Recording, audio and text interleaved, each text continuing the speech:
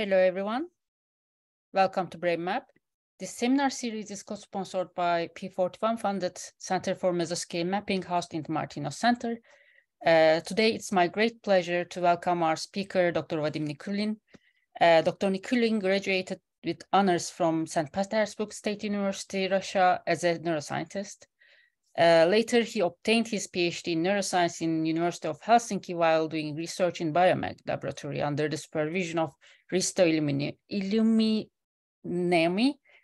Uh, at the time, he was a part of the team that uh, pioneered TMS EEG research. He then moved as a postdoc to Karolinska Institute. Later, he was a postdoctoral researcher at the Bernstein Center for Computational uh, Neuroscience in Berlin. And after that, he became a principal investigator uh, at Charité University uh, and uh, also MPI, as far as I know. Um, at the time, he is a visiting professor of uh, at the Institute of Cognitive Neuroscience uh, at University of Moscow. And from uh, 2017, Vadim has been a group leader at the Max Planck Institute in Leipzig. His current research projects relate to the investigation of uh, large-scale sp spatiotemporal neur neuronal dynamics, uh, particularly oscillatory activity in, re in relation to sensorimotor tasks and cognition. Uh, his clinical uh, research is focused on Parkinson's disease and stroke. Uh, his research uses EEG, MEG, LFP recordings, and non-invasive brain, brain stimulation like TMS um, we also uh, develop, uh, he also develops uh, novel uh, multivariate algorithms for analysis of multi-channel EEG, MEG, and LFP data. Um, I would like to re uh, remind our audience uh, to please address the questions using the Q&A box or raising their hands at the end of the talk. If they have very urgent questions, just let me know. Dr. Nikulin, thank you very much uh, for coming here. The virtual stage is yours. Yeah. Thank you. Thank you very much. Thank you for the invitation and uh, very kind introduction. So I'm very thrilled actually to present some of our research on the way how we can unite two of the most frequently studied phenomena in the human brain, not only in the human brain, but also in animal research. And that means neuronal oscillations and evoked responses. So I want to do it, I, I just want to present you two relatively big topics, which, will, which I will address in details. So I will start with an idea of unifying evoked responses and neural oscillations. The idea here is that at some point we should probably look at evoked responses and oscillation not as a separate phenomena, but possibly as stemming from one and the same source, particularly from neuronal oscillations. And I will do it using idea of baseline shift mechanism.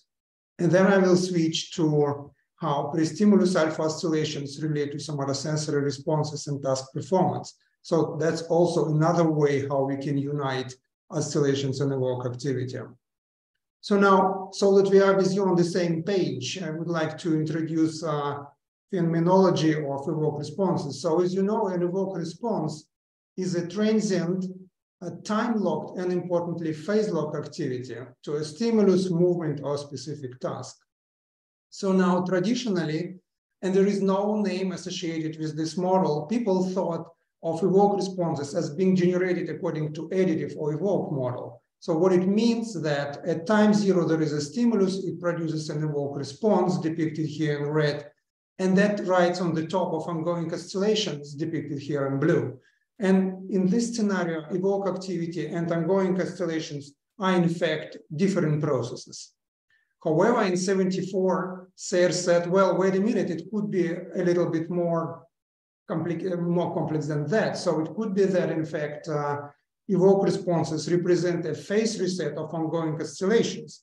So in this scenario, there is no need to postulate additional activity which is produced by the stimulus it's rather a transformation, a phase reset of ongoing oscillations, which are already there. So in this scenario, evoke activity and ongoing oscillations actually represent the same process. And until this very day, there is a dispute in the literature, especially in human literature, whether, for instance, N100, P100 in auditory and visual domains, whether they are generated as additive responses or due to a phase reset mechanism. So it's an ongoing discussion in the literature. However, I would like to tell you that there is yet a third mechanism, and it's called baseline shift mechanism. It's stunning that it has been overlooked for a very long time. It's based on very two simple prerequisites. And whenever these two prerequisites are met, you must have a walk response. So now the first one is relatively simple. So what we say is that any stimulus task or cognitive activity should lead to amplitude modulation of ongoing oscillations. Well, that's we don't need really to prove it because by now thousands of studies show that, for instance, if you think of alpha oscillations or beta oscillations, whenever you have a task, they will always be modulated no matter what. So basically, you can go now to your data and have a look what happens with your ongoing oscillations, and you will most likely see that it's modulated in one way or another. Usually, it's decreased during the task. However, the second prerequisite is a little bit more subtle. So what we are saying is that oscillations, ongoing oscillations neural, they should not have zero mean. So what I mean by this, here I show you two trials in antiphase, and they are amplitude modulated, okay? So there is an attenuation of oscillations after zero. However, these oscillations have exactly zero mean, and therefore after averaging, there is just a flat line. However, let us look at the scenario where ongoing oscillations do not have a zero mean, and what happens is that when the oscillations are attenuated and if they are averaged, these two epochs in antiphase, then you have a residue. And this residue is nothing else but evoke response. So just to give it to you a little bit in a more formal way. So our uh, signal basically represents a cosine, which is amplitude modulated. But this cosine doesn't have a zero mean, meaning that this R term is not zero. So that means that there is an oscillatory part and then there is ATR part, which is an evoke response. So if I want to average across many epochs, as, I, as you can see here, so if I integrate over different epochs or over different neuronal populations, then what I will see is that my oscillatory part will average out, right? So because phases could be not necessarily aligned, especially if you make your triggers random, but there will be ATR uh, term, which will remain. And this is a evoke response. And now look at this. It, it's not an additive response. There is nothing added to oscillations. There is no phase reset, not at all. It's just that the amplitude modulation of oscillations with non-zero mean automatically leads you to evoke to generation of evoke responses. So in order to measure it, we usually use so-called baseline shift index, and we will use it a lot. So BSI basically tells you how amplitude envelope of oscillations is scaling with a low frequency part of your oscillation. So meaning how AT times, which modulates oscillation, scales AT times R, which is a low frequency part. So basically what it means is that your oscillations simultaneously have envelope modulation and exactly the same modulation of a low frequency part, but they are not different processes. They are one and the same process. And therefore, you can capture the relation between this baseline shift activity, like uh, a DC, like very slow activity, and amplitude modulation of ongoing oscillations. It could be alpha oscillation, it could be beta oscillation, it could be gamma oscillation. So it's, it's quite uh, a general principle. So now, just to mention to you that in the literature, there was also suggested by Ole Jensen and colleagues uh, amplitude fluctuation asymmetry index, which just measures the asymmetry of oscillation with respect to zero line. And then it's expressed like this, like a variance of peaks and troughs. However, as we showed analytically in our paper, so be careful with amplitude fluctuation asymmetry because although it picks up asymmetry of oscillations, it is actually not very good as a, as a uh, descriptor of a non-zero mean. So if you really want to measure non-zero mean, you better use baseline shift index. So now, just to briefly tell you that there are powerful predictions um, from baseline shift mechanisms. First one is that there should be a spatial similarity in the amplitude modulation of oscillations. And here you see somatosensory evoked fields, how they're generated, and corresponding alpha amplitude modulation. There also should be a temporal similarity between time courses of evoke responses, in this case at somatosensory evoked fields, and the modulation of alpha oscillations. And finally, there is even a more crazy thing. So if we measure baseline shift index in resting state before any stimulus is applied, then by measuring the relation between amplitude of alpha and or any other rhythm and the corresponding DC-like activity, whether it's upward or downward going, we can actually predict what would be the polarity of evoked responses if these oscillations are attenuated. So on the left part, you can see that if oscillations are attenuated, it should lead to a negative going evoked response. And if here the alpha or any other amplitude of oscillations is attenuated, it should lead to an increase. And as you can see here, we show that these predictions are extremely good. We can predict the polarity of evoked responses almost with 100% accuracy. And again, it's important we predict it from resting state dynamics. So now, of course, we wanted to push it further. We wanted to push it to conventional evoked responses, which are people recording typically with, for instance, in auditory and visual domain. So this is the work which we um, did with Luca Iemi. So here we were investigating the role of alpha oscillations and how they modulate visual evoked responses. So here we thought that there could be at least two different mechanisms how alpha oscillation can change uh, visual evoked responses. The first one is due to inhibitory nature of alpha. So we all know that one of the main ideas of alpha oscillations or at least the neurophysiological meaning of alpha oscillations, is that they have that they are associated with inhibitory processes. And so what we reason that the very early uh, visual uh, responses will be attenuated if alpha oscillations in pre-stimulus are very strong. So this is, of course, a schematic description of our hypothesis.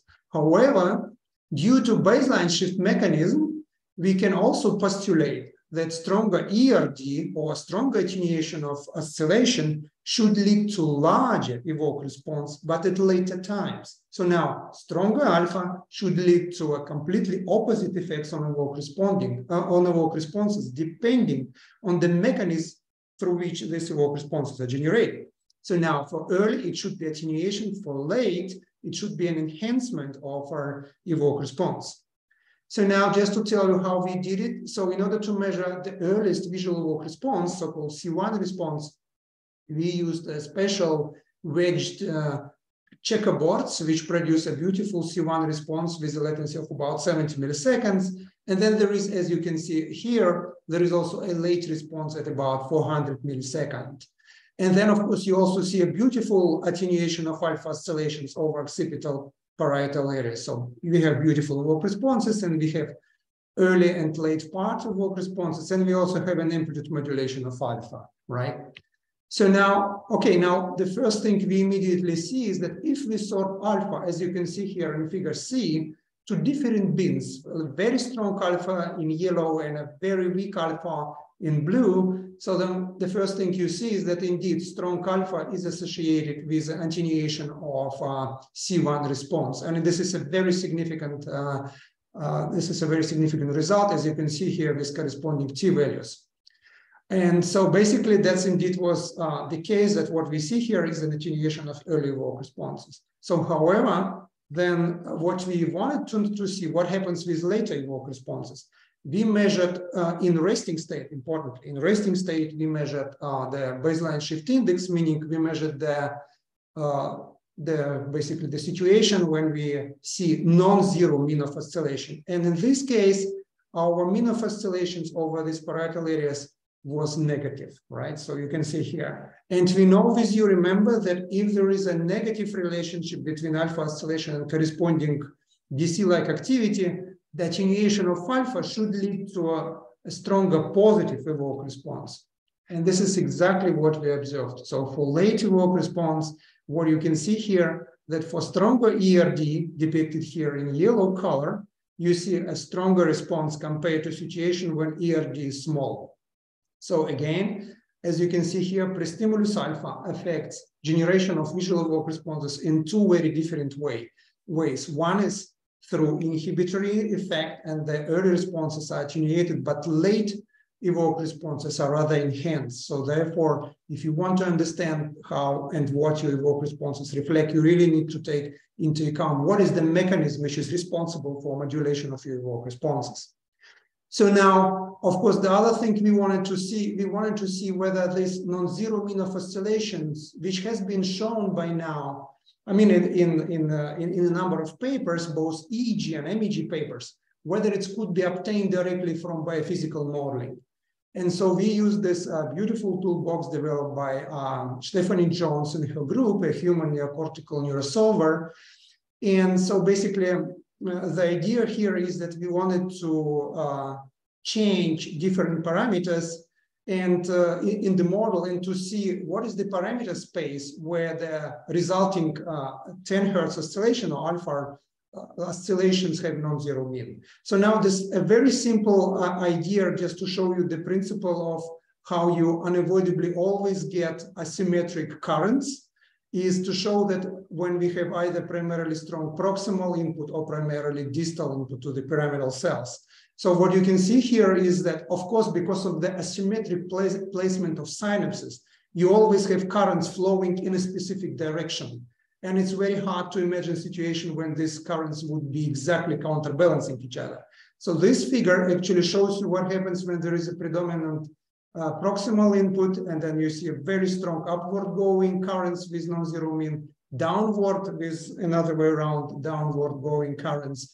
And then this is the default values in the of the published model. Again, you see that uh, there is a no zero mean of oscillations. But of course, what we did, we systematically, in a very extensive manner, were changing different parameters in the model. We were changing density of potassium, sodium channels. We were changing synaptic weights of AMPA and NMDA receptors, lengths of apical dendrites. And what you can see here, that in 99.9% of all kind of parameter space, your oscillations never have zero mean. So they are anything but zero mean. So now that basically means that it is, even if you don't know exactly the parameters of the model and like exactly what it corresponds to real data, for a huge variety of uh, parameter space, basically for 99.9%, it always gives you a non-zero mean oscillations. So now, but there is another very important part to understanding uh, how um, this baseline shift mechanism works also in spatial terms. And this is the question I discussed with Matti Hamalainen at some point. So now let's look with, let's look uh, at, uh, at the presence of alpha sources in invasive um, data. So this is electrocorticogram where they had uh, a distance between electrodes of just few millimeters. And despite the fact that we have a massive volume conduction, what you see here is that the coherence drops very fast. Within six millimeters, it can drop by a factor of two. And that basically means that you have a lot of sources in the cortex, right? But it's not always that these sources are coherent, right? So that sometimes they, they are not necessarily phase locked, or they could be uh, locked with different phase, meaning it, it, it could be not necessarily zero when you have a very strong power of oscillation. They could have an arbitrary phase lag, and then the macroscopic signal, which you see at the level of EEG or MEG signal could be quite diminished. So just to show you, we did a simulation where we, for instance, imagine that we have a field electromagnetic from one neuronal population. So here you see an oscillation, then there is zero oscillation is attenuated, and then it goes again up. But now we have two different scenarios. So in one case, we have a high synchrony of uh, neuronal populations, with, for instance, between different macrocolumns. So this is reflected in relative phase lag not being uniform. So you can see that there is a clustering of phase delay between different neuronal populations around zero lag. And then in another case, you literally have the same amount of alpha, the same number of neuronal populations, but now they're taking from a distribution where their relative phase uh, has a uniform distribution. So basically there is um, a very massive constellation of phases of this oscillatory surface. So not surprisingly, if you see the summed up potential or magnetic field at the level of sensor, you see that in the case of very high synchrony, you have a beautiful attenuation of uh, oscillations, while in case of uh, asynchronous populations, you see a very little of attenuation. You see, it's, it's hardly detectable. So now we have these two populations they lead to either very strong ERD or very small ERD, but what is important is the same number of uh, active populations producing alpha. Now I have a question to you. What do you think the, will be with evoked responses? So now, the situation corresponding to high synchrony and to low synchrony, what would be the resulting uh, uh, evoke response due to baseline shift index. So please tell me, will it be a smaller, larger, like in, what conditions? So if somebody can maybe tell me, I will just wait maybe for five seconds if somebody is. Uh, Through chat, maybe. Yeah. So please tell me because I don't see chat. Um, I will let you know uh, yeah. if there is any anything in the chat, mm -hmm. but mm-hmm. uh, it might take a bit of time for people to write. Okay, now I, I just, um, I mean, it's just, I will just give a little spoiler or big spoiler. So actually there is no difference in generation of evoked responses. So now through baseline shift mechanism, spatial synchrony plays a huge role how you see manifestation of ERD, but not for evoked responses. We can understand it again looking at the mechanistic expression. So we have oscillations which are amplitude modulated. So now this oscillation, the AT times cosine, this is what will be canceled out or enhanced. But the ATR part is completely insensitive to the phase of oscillation. So what it means that whenever you measure a strong ERD or weak ERD, if you say, oh, okay, that should lead to stronger evoke response, and then you say that that should lead to weak evoke response. I just to show you that that's not unequivocally so, because if you don't have access to the information about the spatial synchrony of uh, oscillators, then it's very hard to make these predictions.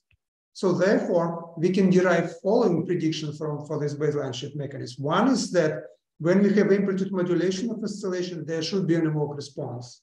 So I just showed you that sometimes amplitude modulation is not necessarily clearly visible.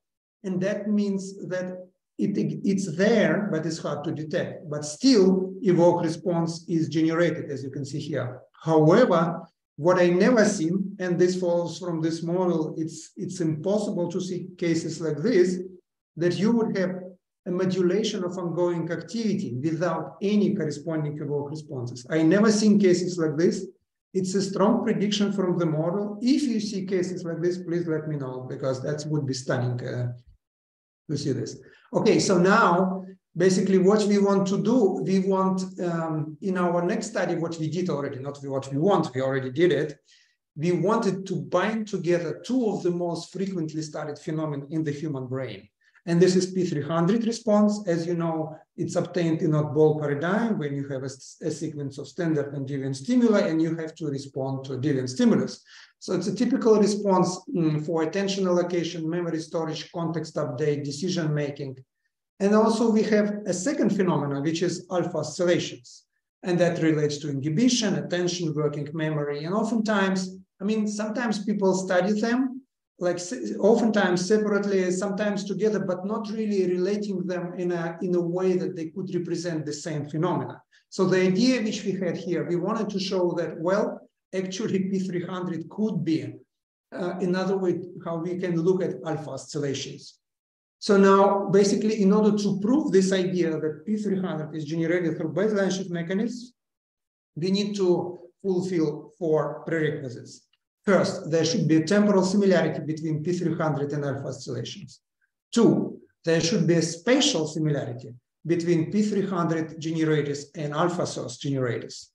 So there should be, we should be able to predict direction of P300 from resting state uh, oscillations, like what you can see here, if in resting state you have a mean of oscillation being shifted a little bit downward, then the attenuation of oscillation should lead to a positive, in, uh, to a positive uh, generation of a evoke response. And the fourth condition is that there should be a functional relation, meaning if we have an improvement of memory this P300, we also should be able to see a similar improvement for the strength of ERD. Okay, so this four, we should show that all four conditions hold for us.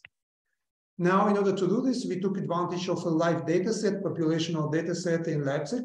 We have it's uh, about 2,000 people. It's mostly elderly people, but they don't have neurological or psychological, uh, psychiatric disorders at the moment of testing. Uh, so that was 32 channels. We had either resting state, 10 minutes, or auditory oddball paradigm, typical for P300. So just immediately to show you the first case. So there is a, a huge, I mean, there is a beautiful temporal similarity between the evoke response, P300, as you can see here, to, to a target stimulus and to attenuation of alpha oscillations. So they are beautifully kind of co-aligned in time. So that's the first prerequisite. So the second prerequisite, if, if we look at the strengths of P300 and ERD, and if you look at the corresponding topographies, then again, what we see is that this is a classic P3 and ERD topographies. And what you see is that they have again a beautiful similarity. And when you do source modeling for P300 versus attenuation of alpha oscillations, again, you see the stunning correspondence between evoked responses and attenuation of alpha sources. So now, okay, now we, as I told you, we also need to see a negative baseline shift index and alpha fluctuation asymmetry index over occipital parietal areas. And this is indeed what you see over electrode PZ and down. You see that your baseline shift index has a negative polarity. So meaning we measure it in resting state, then when the corresponding alpha oscillations are attenuated, the corresponding evoked response should go up. So, but we did something even more remarkable. So what we did, we took these 2000 subjects. We took the baseline shift index at resting state and we bin bin participants into different bins. So now these are the participants in the bin one who have a very negative BSI, and then the other participants having more positive BSI. And then the I mean the, the thing which you expect, of course, is that the people with the most negative BSI measured at resting state should have the strongest P3. And that's indeed what we observed. You can see here, and the people with more positive, they rather have a diminished P300. So if you have these two curves, and if you then compare statistically where the largest spatial differences are, they immediately fall into the neighborhood of P300 uh, generators. So now you, you can see that also the the polarity, the prediction of P3 from resting state dynamic holds very nice for this.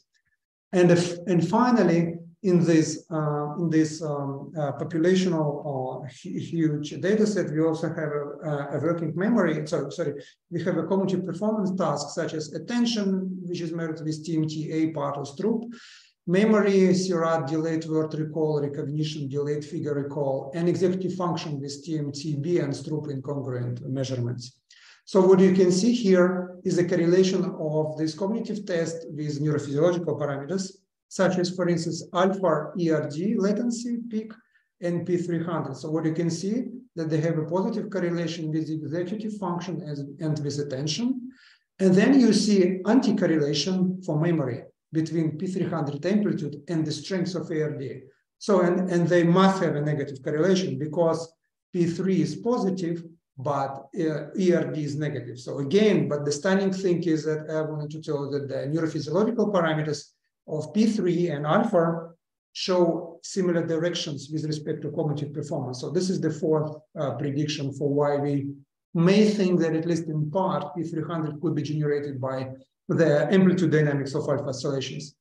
So just to conclude, so I showed you that P3 and alpha modulation demonstrate similar time evolution, have similar spatial location, we can predict the sign from resting state and the corresponding to behavioral correlate. So all four prerequisites have been fulfilled.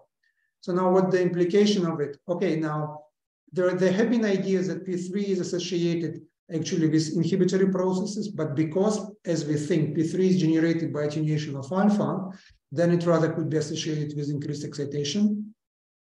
If you want to understand P3, it's better to study it together with alpha oscillations.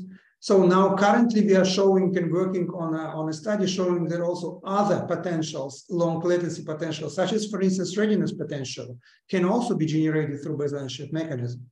And I don't have time, but if there are questions, I can explain you how in fact phase amplitude coupling can be understood completely through the framework of baseline shift mechanism.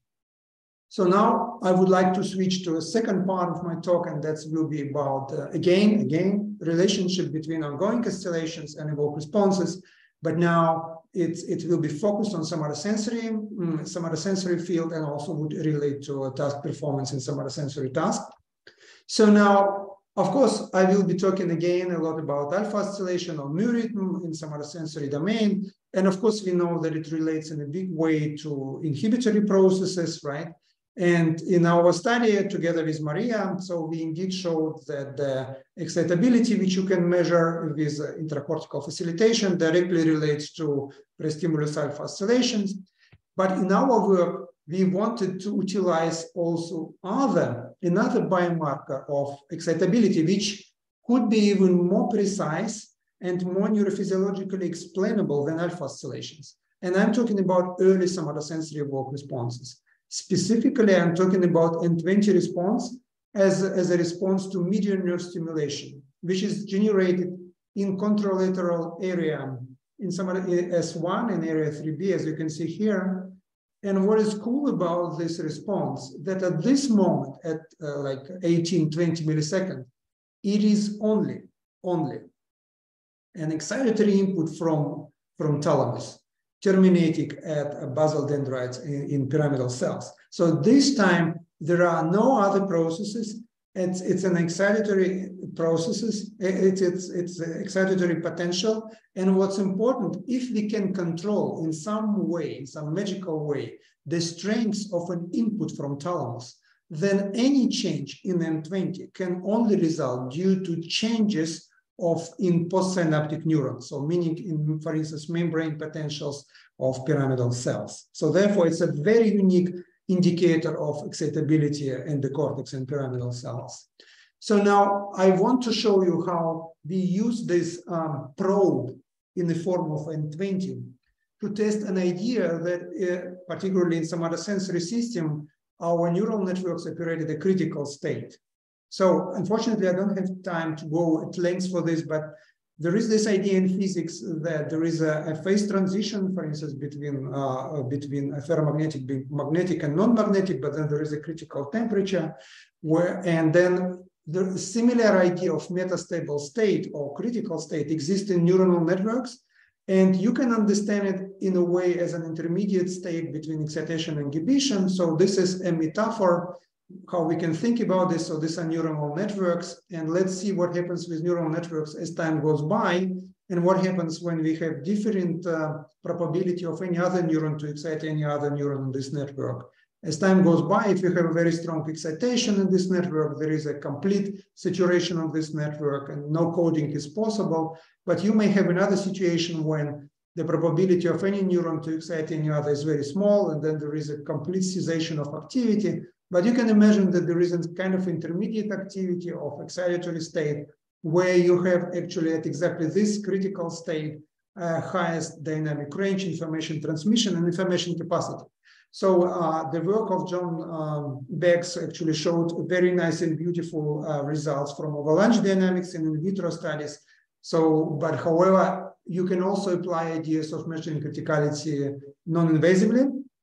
And for that, we use, for instance, so-called long-range temporal correlations, which is in a nutshell an autocorrelation. It shows you how the, how the process is correlated with itself when being shifted by a specific amount of time tau. So it is not a proof of a critical state, but it is a cons it's consistent with an idea that system might operate the critical state.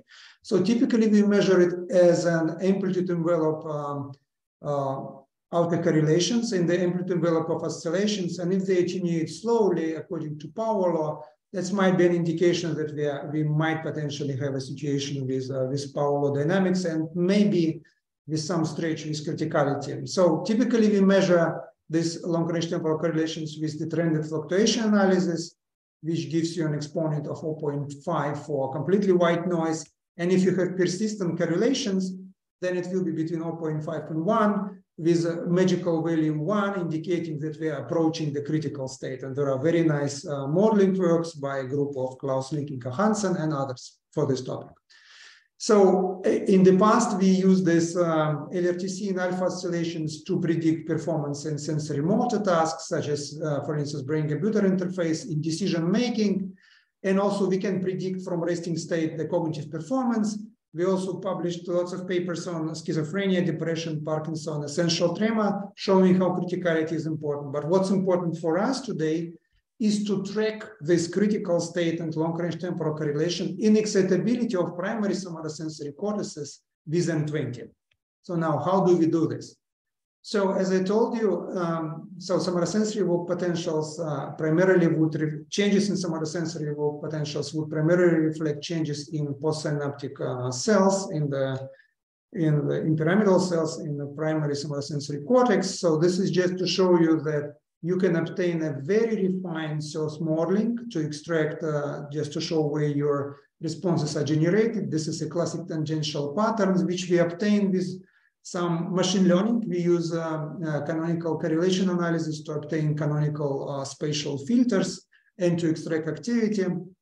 Just to show you that, so this is quite crazy. So what I show you here on the left part, we extract single trials of N20 responses. So basically what you see here is that how in time, with an interstimulus interval of 700 millisecond, activity of uh, N20 is changing from stimulus 1 to stimulus 1000. And we can do it non-invasively, single trial. We can track excitatory postsynaptic uh, currents in human cortex, non-invasively. And when you take a slice of this activity or like this, you can see that in time domain, let's say this is about 20 minutes data, there are fluctuations, there are fast fluctuations, but you can also see that there are slower fluctuations.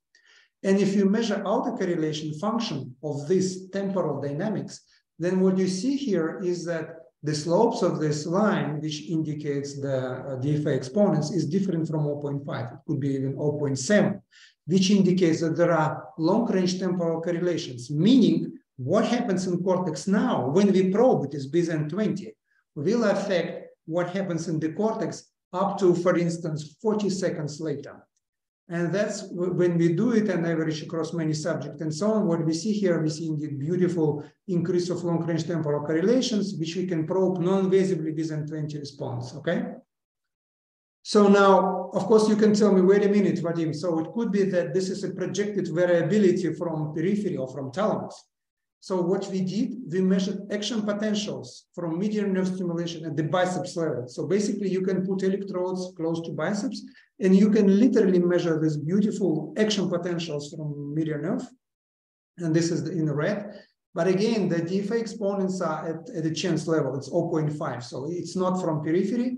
So I can also tell you that with uh, this machine learning uh, canonical correlation analysis, we can extract thalamic activity at about 15 milliseconds. And you can see a classic radial dipole. And again, we show that in thalamus, this activity, like the earlier somatosensory activity, doesn't show long-range temporal correlation. So that basically means that the criticality we observe is primarily at the level of a cortex itself. So now another very, very paradoxical result we obtained was the following. So now you see N20. Now let's zoom in into N20 and see how the amplitude of N20 changes as a function of pre-stimulus alpha oscillations. So now what you see here, the stronger are your oscillations, the larger is N20, okay? So now think about it. Stronger alpha oscillations lead to stronger evoked response. So this is completely opposite to what people usually think in literature. They think that stronger alpha leads, for instance, to you missing stimuli, not so good stimulus detection, also typically with attenuation of evoked responses. But now what I show you here, it's another way around. So you have strong alpha, you also have very strong, no, you have stronger N20 responses. So how can we understand it? Actually, if you are a neurophysiologist and if you know what is the equilibrium potential, it is quite straightforward to explain. So let us consider the left situation when we have a membrane potential of pyramidal cells minus 70 millivolts.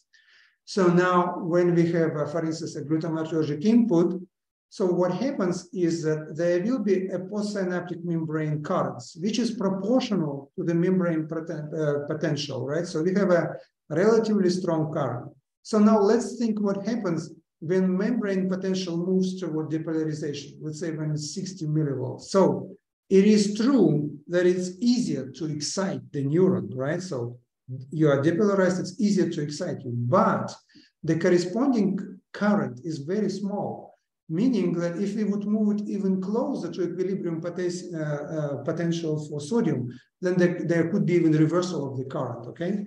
So now, and on the contrary, when we have a very strong or uh, like a hyperpolarized state, I would say minus 80 millivolts, this is a very strong electrochemical gradient. And by so basically what it means is that the resulting currents will be very strong. So this is actually the way how we can explain that N20 is getting larger when alpha is stronger. And it's indeed a nice way to confirm that alpha might be might correspond to inhibitory state to more hyperpolarized state of pyramidal cells. So in a way, they're confirmatory to each other. So kind of like the idea of alpha being inhibitory and N20 being enhanced in, in strong pre-stimulus alpha. But now, of course, so it's it's all very nice that we detected these early changes in N20. We show that we can track them on a single trial level. Now the next question, whether changes in N20 have a functional meaning. So as you probably know, those people who study uh, somatosensory system, for 30, for 30 years, people were trying to figure out or to find an evidence that the earliest somatosensory responses, such as N20, would be in some way relating to cognitive performance. And it was, I mean, th there was no evidence basically. So what we wanted to do here, we wanted to do the following. So it's a, it's a sensory, somatosensory discrimination task. So the, the people are getting median nerve stimulation every, let's say 700 or every one second. And then there is a median nerve stimulus, and then there is slightly weaker median nerve stimulus. So yeah, they are not very clearly distinguishable. And your task is to discriminate whether it was a strong or weak stimulus, okay? It's whether it was a strong or weak median nerve stimulation, which is a quite challenging task depending on how you adjust uh, stimulation intensity. And again, so we used our techniques to extract single trial N20. So you can see here again, we succeeded in extracting these beautiful responses.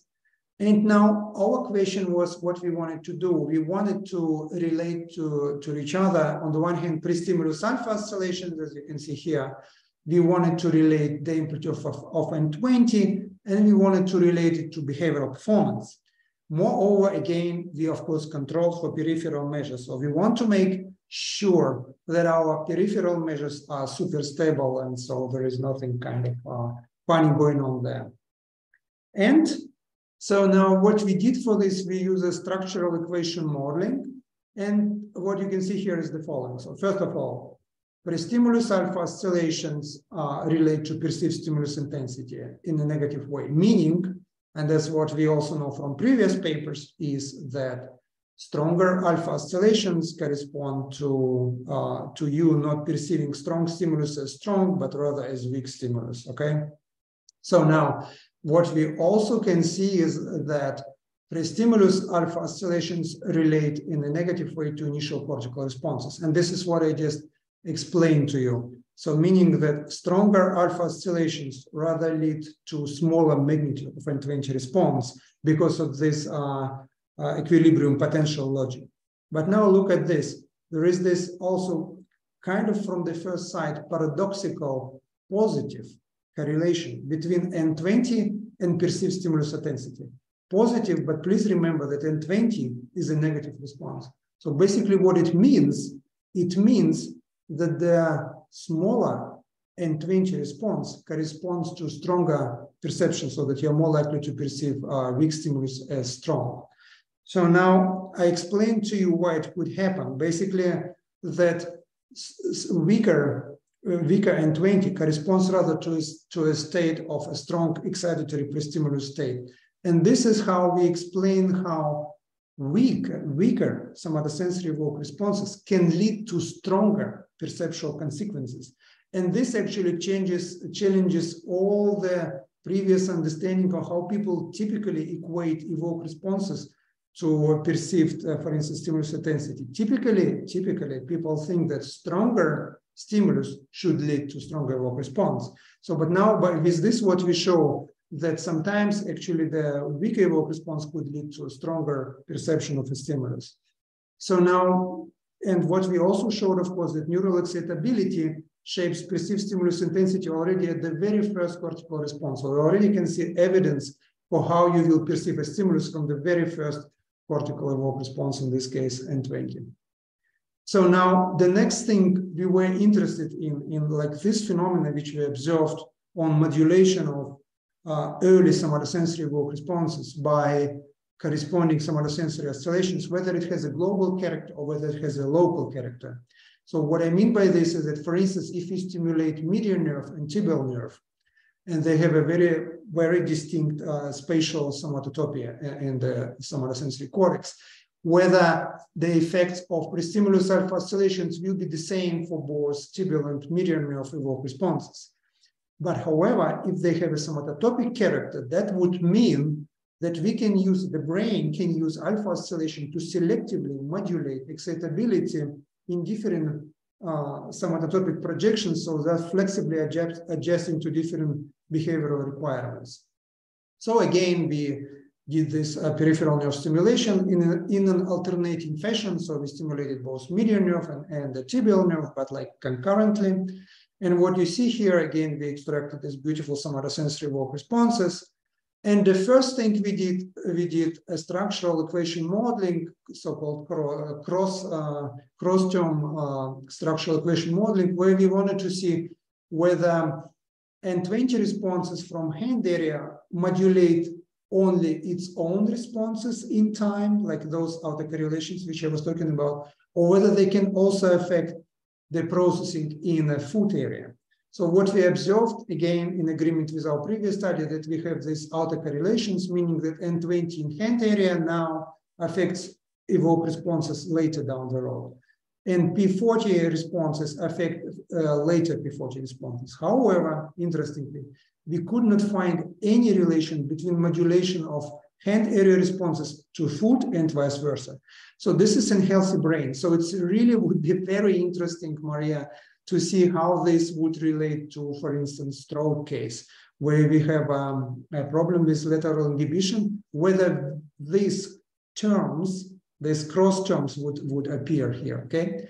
But now the next question, of course, was, okay, now what about this relationship between pre-stimulus activity, alpha, and evoked responses? And luckily for all of us, I guess, we have a very somatotopically organized effect of pre-stimulus activity on evoked responses, meaning that median nerve evoked responses are primarily modulated by alpha oscillations generated in the hand area and the foot evoked responses are primarily affected by alpha oscillation generated in foot area. So this in turn allows us to use alpha oscillations to flexibly change uh, excitability in a somatotopically specific manner according to specific behavioral uh, demands. So now just to summarize, so the temporal dynamics of early SEPs are likely to reflect critical dynamics as shown in oscillations, but now we confirm it with probes in the forms of SEPs. So we also show that cortical excitability influences how stimuli are perceived from the earliest cortical processing, reflected, for instance, in N20 and a relation between pre-stimulus alpha and the evoked responses has rather a somatotopic uh, character and not the global character. So uh, with that, I would like to mention my colleagues who contributed to different parts of the studies I presented, finding, and I'm looking forward to, to your questions. Thank you. Thank you very much, Dr. Nikulin, for this very interesting talk. Um, I would like to remind our audience, please ask the, their questions by raising their hands and uh, having a uh, writing into the Q&A box. Um, I would like to just also mention that actually uh, there were some uh, answers uh, or there were some people who were who were trying to answer, but apparently chat box is disabled today. So please ask your questions through the Q&A box if chat doesn't work. Uh, we already have a question from Maria. I also have questions, but uh, I will ask later if uh, yeah. I'm permit. But yeah, Maria, please go ahead. I actually uh, enabled your. Mm -hmm. Thank you.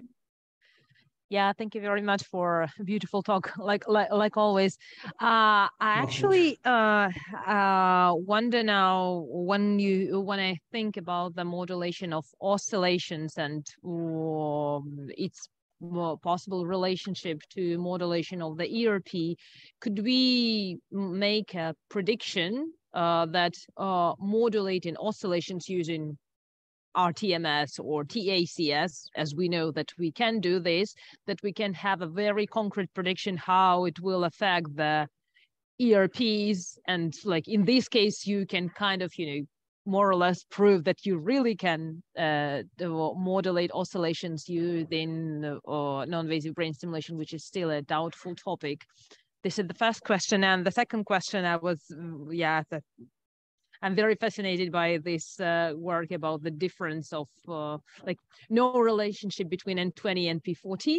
Uh, yeah. yeah. I think it's exactly. I think it even it's about S1. Um, I, I wonder how much it may actually be translated to the motor cortex because like sensory somatosensory and motor uh, the somatotopy is different and oh, what do you think also about this possibility of uh, somatotopically influencing different part of the uh, sensory sensory motor cortex using non-invasive brain stimulation yeah, thank you. Very, very nice neurophysiologically inspired uh, question. So, about modulation, yes, absolutely. That's what we showed. So, if you can, for instance, upregulate alpha oscillations, right, with inhibitory RTMS, so then potentially it should lead to stronger, stronger ERD and correspondingly to stronger visual evoked responses. So therefore, it's a directly testable thing. So in principle,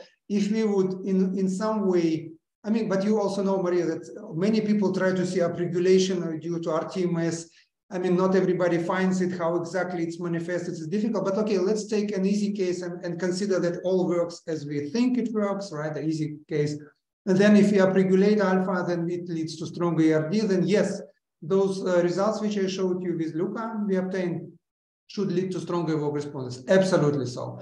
However, it, it, it is not so simple because I showed you that the, because of spatial synchronization, sometimes the the relation between evoke, uh, between oscillations and evoked responses is, is not so simple. But yes, what you said is, is something we actually had in mind to upregulate or downregulate and to show that your evoked responses are changing. It's important then to indicate that it's not also due to the fact that your uh, reactivity of, of corresponding cortical areas is changing. But Maria, I also wouldn't like to sound too simple-minded, meaning that it's not that we explain everything through baseline shift mechanism, not at all. We just said that there should be a considerable contribution from this specific mechanism. And it could be that you have a combination of different evoked responses. You have an additive responses, they are riding on the top of some baseline shifts. And this is actually what we showed. You may have additive baseline shift, they will interact, they will add to each other in some way. So therefore, we should be just careful, uh, like with interpretation. Yeah. And the second one, yes. Like uh, when I was preparing this talk, and again looking at this and looking at our recent with you TMS motor mapping studies, right, with uh, training individual finger movements, I was like thinking, wow, like the, the, at least in S1 in normal healthy young volunteers, there is a, such a tremendous delineation of how evoke responses are not affecting other areas. Like it, it's really stunning. We couldn't find any any evidence at all.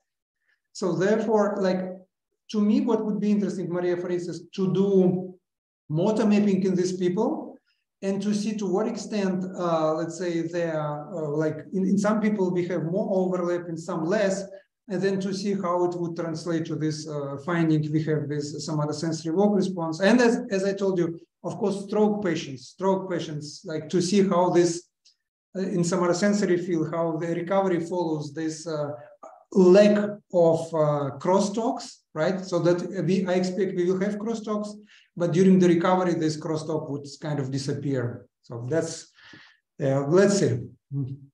Yeah, uh, uh, thank you. I, I, I think that um, you know leg and arm or leg and hand is like more i mean we know that they are much more delineated so it will be also really interesting just to see not only medial nerve and tibial nerve which are far away but like something like radial nerve and ulnar nerve yes. which you can clearly yes. separate peripherally yes. and it would be very interesting like to do this in mm. healthy and then mm. in dystonia on stroke patients yeah so, yeah i think totally but that's of course like the closer projections are, the the harder it will be to separate sources. Of course, there are it comes with some caveats, right? So, but yes, yes, that's a good idea.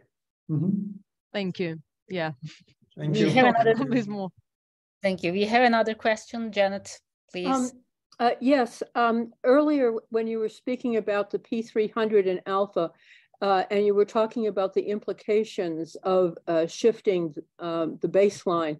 You mm -hmm. suggested that you could comment on the phase amplitude coupling yes. and baseline shift mechanisms. yes, uh, absolutely. I would appreciate it. Thank you. Yeah, absolutely. So I'm just looking at the, yeah, exactly. I mean, maybe I can just, yeah, okay. So let's look at this, even at this uh, part. So now, okay, so what you see here in the, in the, in the bottom is that there is a modulation of uh, activity, okay? Like a sinusoidal activity. But this AT times R, this is a very low frequency phase for instance, going upward.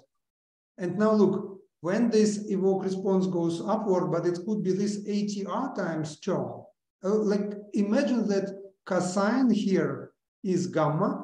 Okay, just imagine that cosine is gamma. And AT is theta. Okay? Yes. AT is theta, theta. So now basically what you can directly show that there will be amplitude modulation of uh, of your gamma oscillations, which will be locked to the phase of theta because ATR will be pure theta, just theta. So you see, basically you don't introduce explicitly theta here. Theta comes up as amplitude modulation of oscillations which don't have zero mean. You see, you don't need two processes. If you are measuring the same population, you basically say, I only need my beta oscillations, gamma oscillations, and the only thing I require that my oscillations don't have zero mean. If they don't have zero mean, any amplitude modulation of just this gamma without any theta, but gamma is modulated by by by the frequency of theta, right? The amplitude modulation. It would immediately give you this AT times R term, which is theta, and it will be phase locked to the amplitude modulation of gamma. So this is how you can think about simpler, simpler. You don't need two processes. It's the same process in a way. Uh, thank you. Yeah. Um, Seppo has a question. Hello, Seppo. Hello, Martin. Thank you for the fascinating talk. This is very nice. Uh, I just wanted to ask about the uh, how important is the averaging over trials for this uh, method to work, or can you yeah. look at single trials, APT? Absolutely, a beautiful question. And that's actually what I back then discussed also with Martin, who told me, hey, how can you explain single trial evoke responses, right? So now you don't need necessarily to average because let me show you here. So we are at the right figure. Okay, so imagine that what you see here is not many trials, it's just a population of neurons and what I show here is the, the distribution of population of neurons, how they are locked to each other. And what I'm measuring here, this is a single trial, ERD and evoke response. So you see, you don't need, in order to, uh, to obtain this baseline shift mechanism, you don't even need to average trials for that because averaging can happen as a result of summation of fields from different populations. And that's, of course, what we typically have. EEG, MEG, it's a summation of uh, thousands of macrocolumns, right? And this is exactly this. So you see, you here you have a walk response. I show you here on the left lower part. And this evoke response, but you don't see much of oscillations here, right? There are some, but not much. And, and on the right part, we know it's generated by oscillations, but you don't see any trace of oscillation in single trials.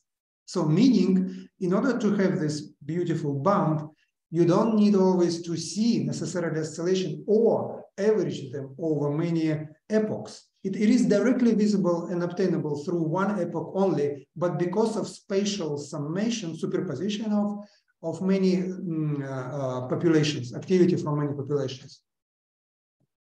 That's great. Thank you. Does it make sense? Do, do, do Yes, yes, yes. Okay. Okay. Thank you very much, Seppo. Uh, the, there is an anonymous question. Uh, do the alpha oscillations cause local inhibition or are they sign of inhibitory activity? Uh -huh. Very good. Very, very, very, very good question. Uh, uh, I mean, the evidence so far is that they are rather sign of an inhibitory activity. So there, are this, there is a handful of studies where they try to relate alpha oscillations to spiking activity.